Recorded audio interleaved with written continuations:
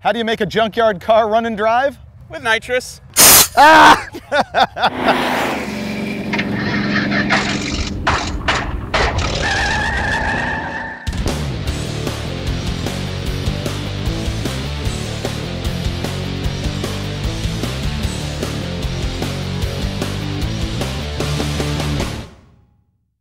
the first episode of Roadkill, we let a dart determine our destiny. And now that we're at episode 11 and we're fresh out of ideas, we're going to do that again.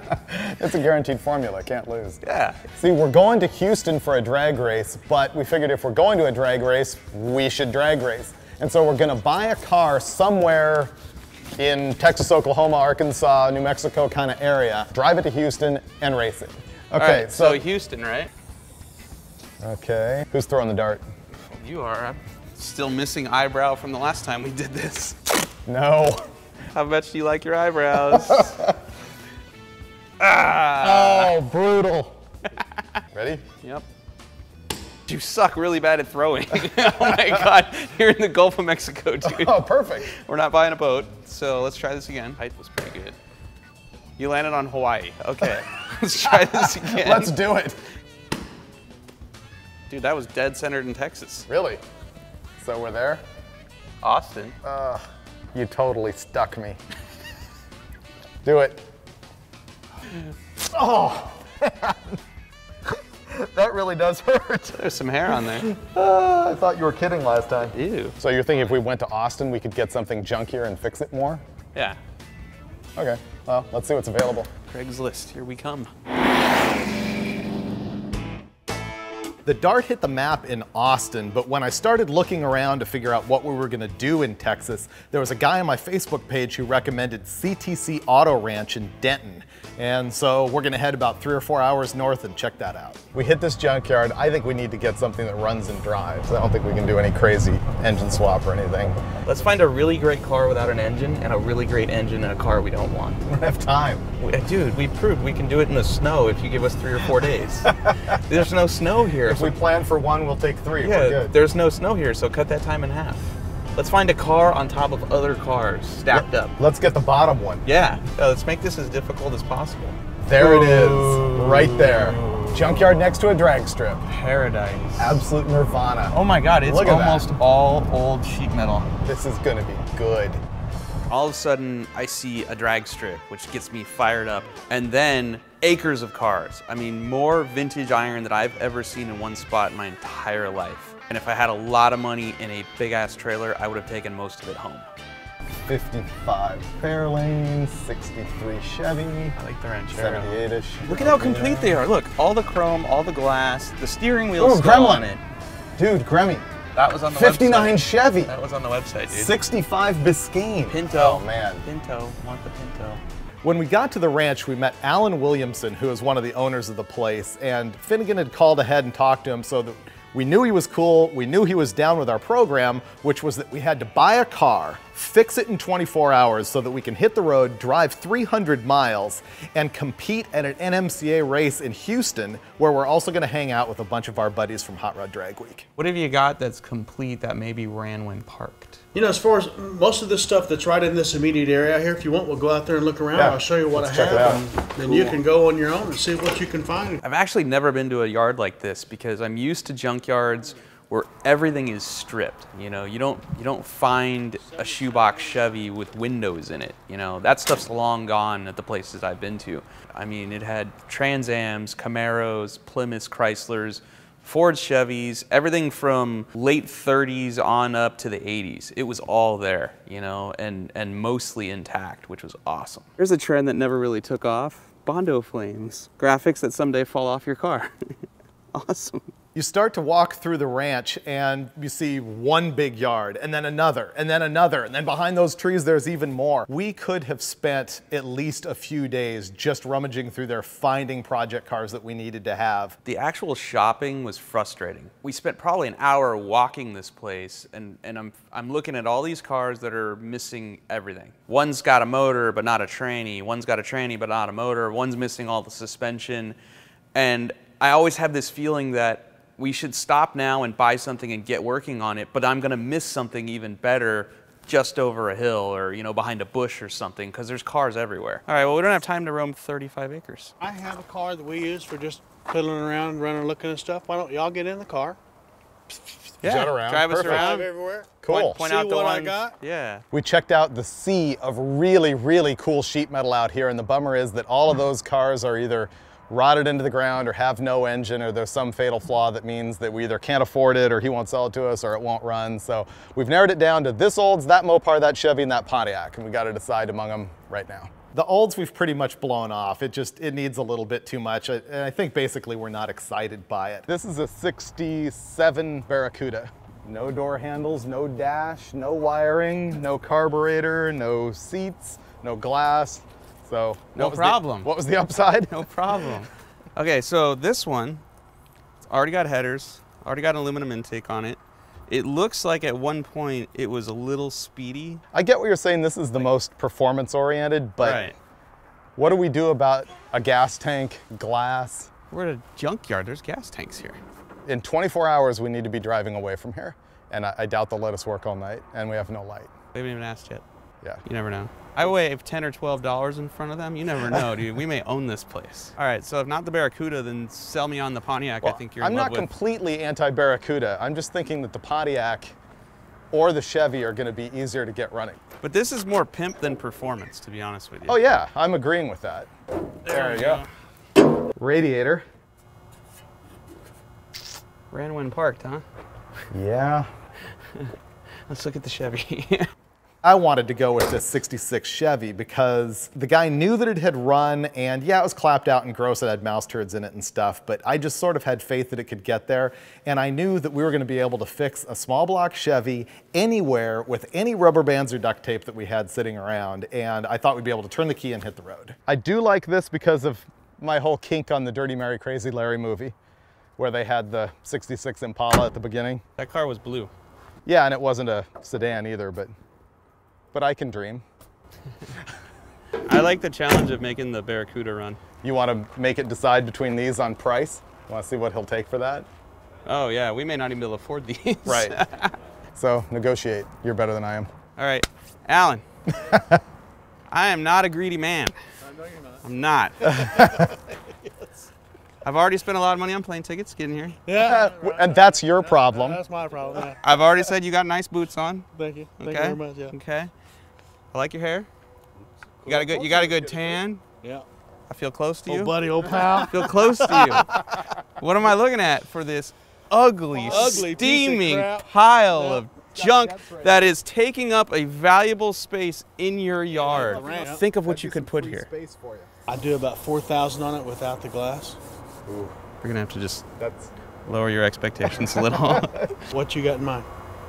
We're gonna have to put a carb on it. Not cheap. so we need a carburetor. Carburetor, wiring, Yep. uh, plumbing for the gas tank. We need a Right. seat. It's worth two, right?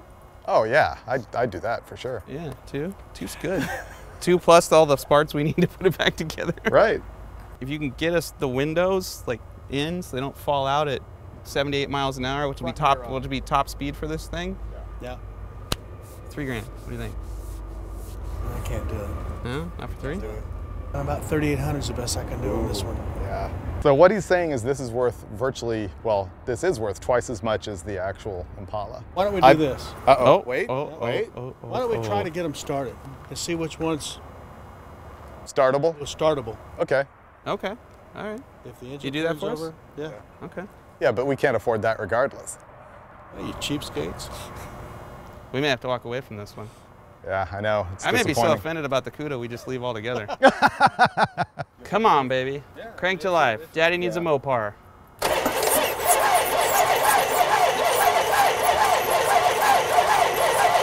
Oh, dude. Oh, man. Yeah, that's good. I'm telling you, dude, we can make this run. I'm warming up to the notion.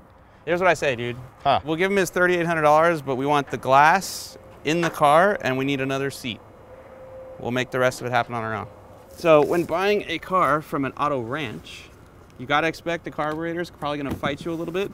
So, I was smart enough to order a Holley 750 double pumper with mechanical secondaries. And you just don't go anywhere without your cheater setup. Hello, friend. Oh, I've missed you.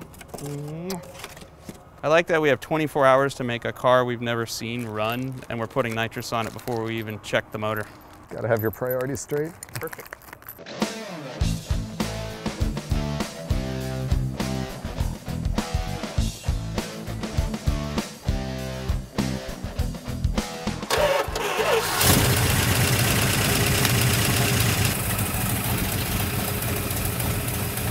Doesn't smoke.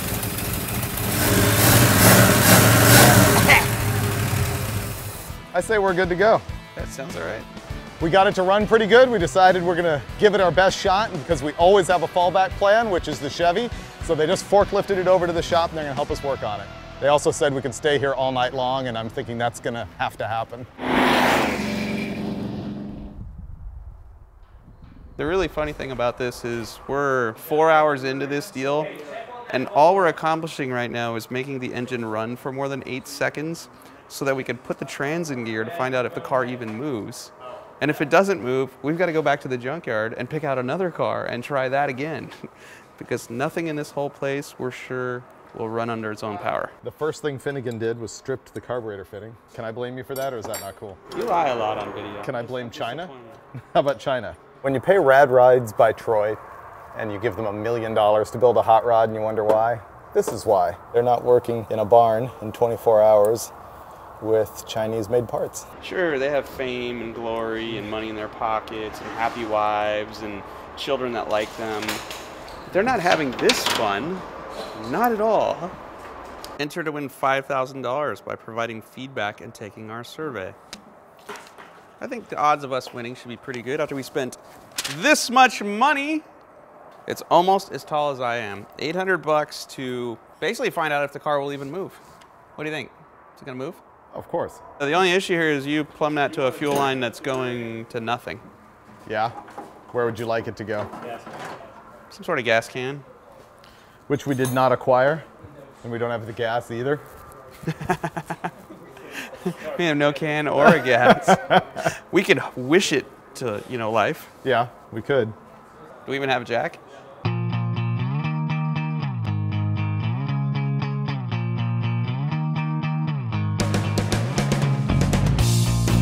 Man, I hope this thing moves forward and backwards. Is backwards actually a requirement? That might actually be a little greedy on our part. Okay, hopefully we're gonna fire it up now, make it drink out of this gas can. Sounds good. Happy. Come on, Reverse. baby. Yes! Yes! That's reverse. No noise. And drive. Forward! I take back everything I said about this place. You I'm can get a quality automobile here. We're good. Wait, let's see, will the brakes stop it? No, no brakes. We're not going around the block without brakes. No, we need brakes. It's about midnight at the auto ranch and we've had big victories with the engine and the transmission and so we're gonna call it a night and go get some rest.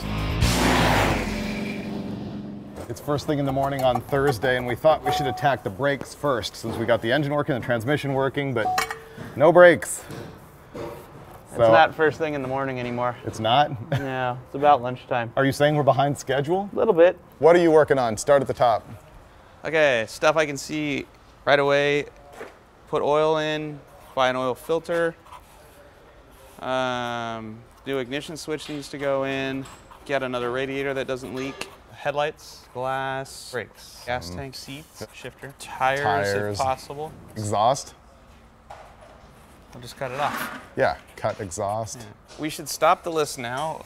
Because it's only depressing? It's really getting overwhelming. oh, outside door handles. Oh, that just put it over the edge, dude. We can't make this now. so that's our list, and it's Thursday at 11. We need to leave in eight hours. We'll be There's fine. no way in hell that's happening.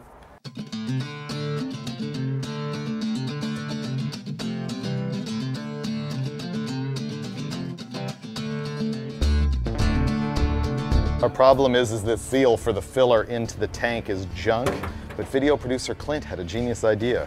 We went and cut this piece of radiator hose and slipped it over the fill neck, and it's gonna make a perfect seal into the hole in the top of the tank. Probably the best part about being at CTC Auto Ranch here in Texas is that when we needed a part, we could just go out back here and find it. So I found our transmission kickdown uh, mount there for the carburetor. We didn't have a seat for our car, so they grabbed this 69 Valiant out of the yard, rolled it in here, ripped out the bench and the seat belts for us. And I don't know if you can see this right now, but this is actually an ultra rare factory lightweight drag car with transparent aluminum quarter panels. Very valuable. What's our next big expense is my concern. We need rear tires. We'll take the two best of the four, stick them on the front, Yeah, the rears are better, so we'll throw those on the front, but then, cut the exhaust off. That solves a lot of the issue back there. It does need rear shocks. oh yeah, because they're completely topped out. Yeah, well, and the one is bent, so Oh, um, we're completely out of money. we're never out of money. We have Amex. we'll just be in a lot more trouble when we get back to work. Right. And find out what we spent. I'm gonna cut the studs. Let's go back to work. Run out of daylight. I was really torqued up about the glass on the car. I was concerned the drag strip would not let us run without it. We had to have a windshield at least, and the glass guy shows up and he wants like 500 bucks to install glass that's sitting right out there in the yard. And that wasn't a good moment. We were standing around waiting for this guy to come down on the price, which he finally did. But then we find out that 67 CUDA glass is different than 68 or 69 CUDA glass in the sides. and The doors are a little bit different. What a pain in the neck. And you know what? Coupe glass is different than fastback glass. So we're just screwed on the side windows. Here's where I'm stupid. After we figured out that the 68 glass wouldn't fit the 67 doors, we reinstalled the 68 glass in the 68 doors and installed the 68 doors on the car because I thought we had to have it. And it looks so stupid. We couldn't live with ourselves. Our junkyard car didn't look cool enough with blue doors and white paint. I just couldn't have it. So then Finnegan calls Jeff Lutz, who's standing in Houston at the drag strip where we want to race. Why we didn't do this a day ago, I don't know. And he goes, Lutz, can you talk to the tech guy and find out if they'll let us run without windows? Guy goes, yeah.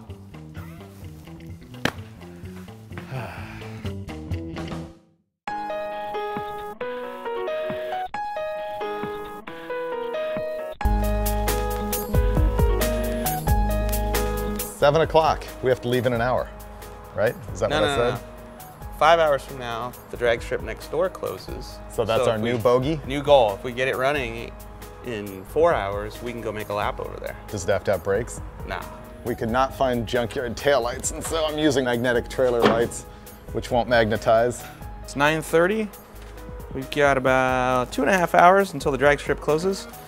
We're gonna fire off the motor for the very first time on the stock gas tank. And uh, the potential for that thing to turn brown right now and look like the bottom of a fish tank, very high. So go ahead, hit it.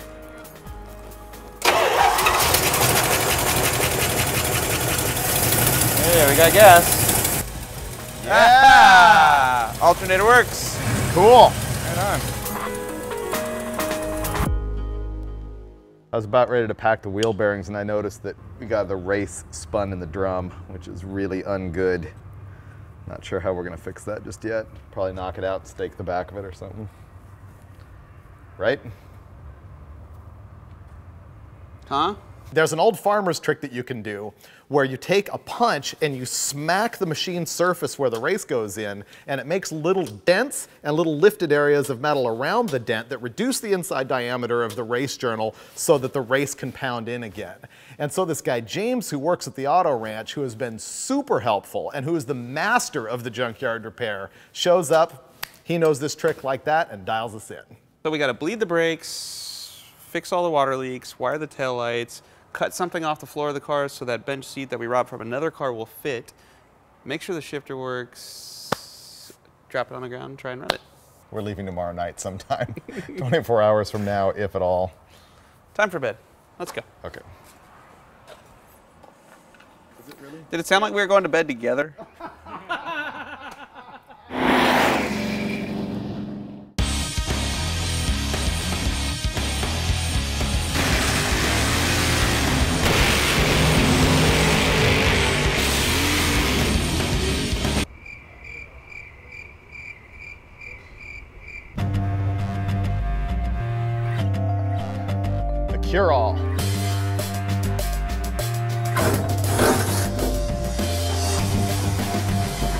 Ah, that makes me feel better. Nitrous.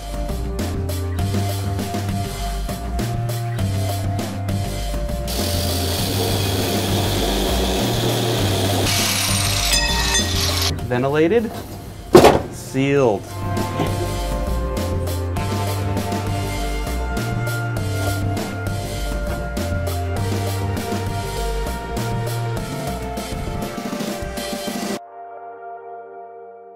This point, there's the possibility that after all this work, we're going to try and drive it around the block and the transmission will just be garbage. It spun the wheels on the jack stand. That doesn't mean it moves the car. Dude, don't talk about it. Don't just the talk about it. possibility. We have a chrome air cleaner, okay? Oh, yeah, we'll be good. Car's fine. We got the car completely running, everything was coming together, and the brakes didn't work. It turns out that all of the little tiny line was just packed with goo. I ended up taking the entire brake system apart the metering valve, the prop valve, chingus, cramming wire through it, air, carb cleaner, nightmare. Even though we're not going to get any test runs in Houston, we're still going to be able to run across the street over here at North Star if only I can make this junk stop.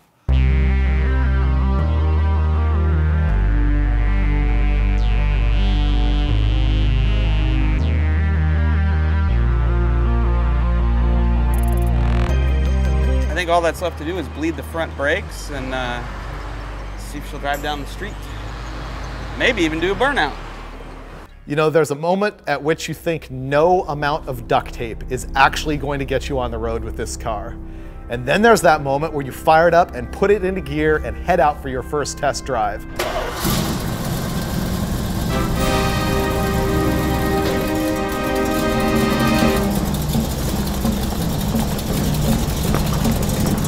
And at this point, Finnegan and I are just giddy. And we pull out in front of the yard, drive around a couple of times, and I swear we're not in the car 30 seconds before Finnegan's on the wood, and this thing lays patch for a half a block. Yeah! Yeah! Yeah! dude! yeah! Oh, dude, it's spunky. And it smells like rubber in here. You know, three trips around the block is good enough proof for a junkyard car. So what do you do? You head straight to the drag strip.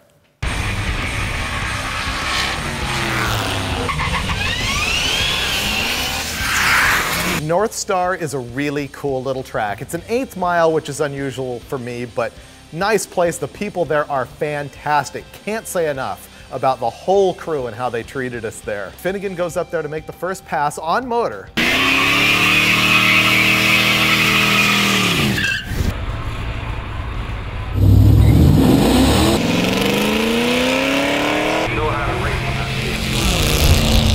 Nine oh six, and I instantly whip out my phone and do the math to convert it to like a quarter mile time, which is language I understand, and it's a 1420. And I, I am just completely over the moon at this point because 1420 means that I can spray this thing into a 12 second car for sure. It's 11:30, and I don't think we're racing in Houston unless we get there at like 9 or 10, which means we got a cannonball. Let's get the hell out of here.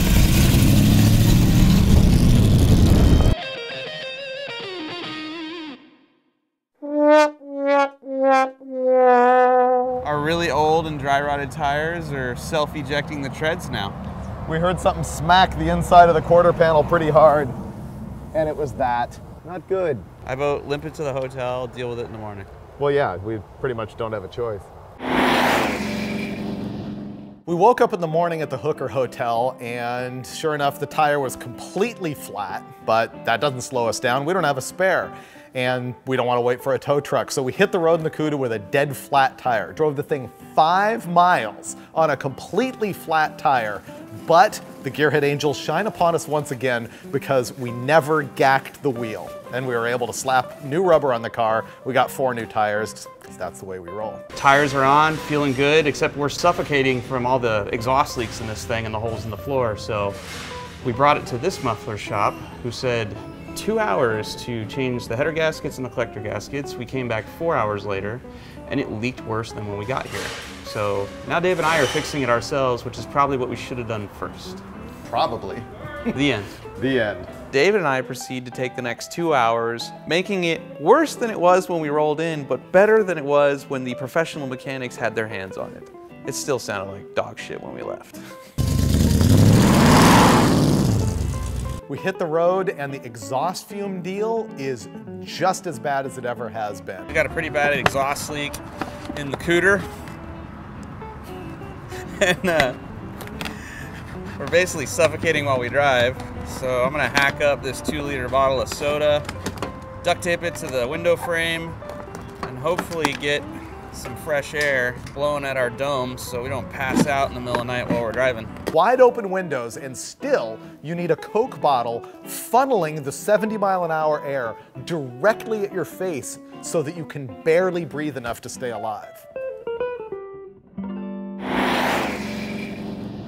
We're in Houston. We spent most of yesterday getting tires on the car and trying to protect ourselves from carbon monoxide. But we made it late last night and now we are headed to the racetrack, hopefully to make some nitrous passes in the car. And then I think we're gonna auction this thing off to some lucky person or unlucky person, depending on your point of view.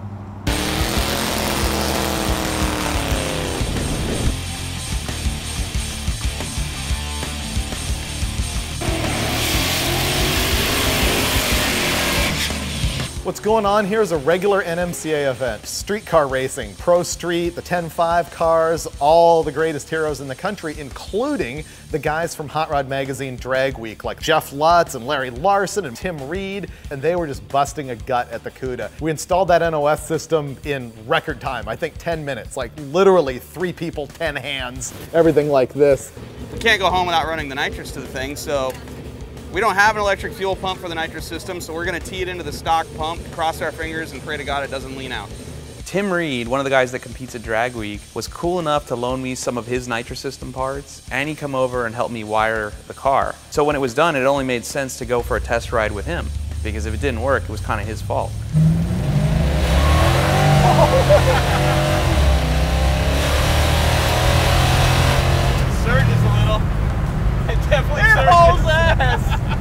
Turned around to go back to the track because we need to do a little more tweaking on the car. And as I was making the U-turn, I hit the nitrous button on accident. Whoa, whoa, whoa, whoa. Would you bump the button? No, my hand's up here. My hand's up here, man. I bet you bumped, bumped the. Oh, that's not good. Uh-oh. Right now the bottle's leaking. I blame David for that because he tightened it. And we have no key to get the trunk open. So uh, we're just gonna wait a little bit because the car is full of nitrous right now and not safe to drive down the road. It's a good thing we had a bunch of extra nitrous bottles with us because we had had them filled at North Star the night before.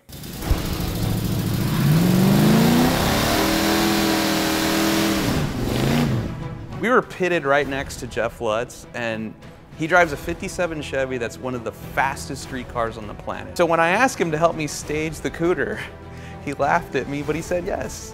And so I got this guy standing in front of the car, and he's waving me into the beams, and he's laughing his ass off because he's staging like a 15 second car.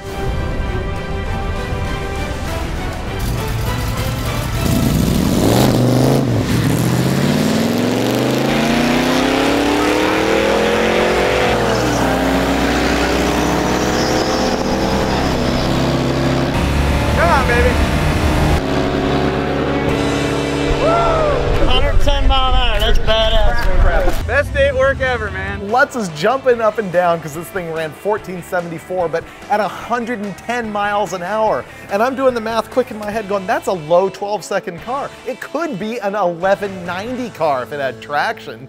I went directly from the end of the drag strip back over to the grandstands right by the starting line.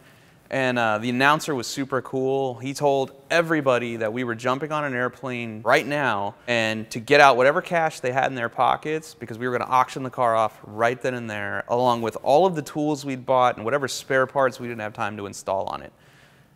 And people showed up for this. I couldn't believe it. We've got 100 bucks. What do we got over here? $200. $200. Anyone else? $300 from the gentleman in the red cap. Anyone else? Thousand bucks from Charlie. Whoa! Thousand bucks. $1,000. $1,200. 15. 15 Oh, the racetrack. All right. Thank you for having us. 1600 1800 18. 19. 1900 wow bucks. 1900 going once he's checking it out 2025. $2025 nice round number I like that how'd you pick that one 24. Big move. Big move. Linda from Sam goes 2,500. 25, 25. 29. 29. 3,000. Yeah. 3,000 bucks. Linda's got it for 3,000 bucks. Adam. 3,100 bucks. wow 31. Okay, 3150. 3150. Going once. Going twice. Sold for 3150. All right. You know what the best part of this roadkill was? Think what didn't happen. What didn't happen? We didn't overheat and take the hood off the car. There were no gauges. We didn't even know if we were. Oh gonna yeah, that's overheat. right. We had no, no oil pressure, no ammeter, no gauges. That's okay. The hood, the hood car. did stay on the car though, which is that's a that's a step up for us. Overall, I'm gonna say really solid roadkill. Took a thing out of the junkyard, raced two drag strips, nitrous. My hands feel like I got into a fist fight with a cheese grater, and I'm okay with it, man. It was pretty bad. okay with it. One more bit of fun before we give it away. Ready? Yes, sir.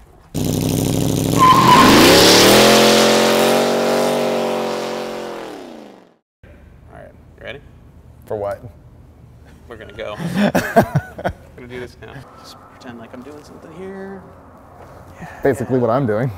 These are tight. Yeah, yeah, that looks good. Just tuck that in right there. Ready to go. Let's go get a clap, David. Yes! Yay! Ah, roadkill. No logic, no budget, no shame. Give us a clap, David. That was a good clap with diesel Nice, hands. Diesel adds the power. Wow, you got some pop in that. It does. It's the diesel. I do I'm that, but convinced. everything hurts. Running out of daylight. I need parts. Hurry!